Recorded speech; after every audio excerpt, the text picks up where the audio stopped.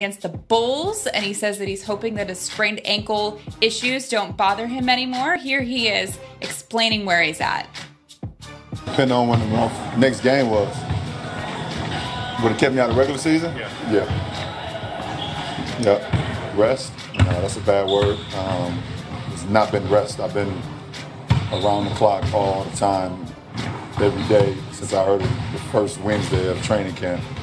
You know, and trying to work my way back in. So um, you always hope that it won't be a lingering thing. So I just got to keep doing what I've been doing, and at some point it'll calm down. That's not a bad word. That's LeBron's favorite word is rest. He loves to rest. So why is he calling it a bad word? Doesn't he seem a little snippy at this reporter for no good reason? He's just asking about his I ankle. thought, I thought the reporter was totally out of line.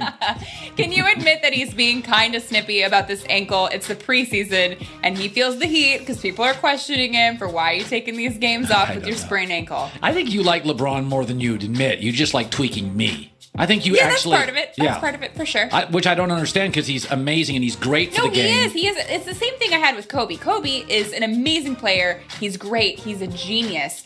But some of the things he does, like Yeah, I no, just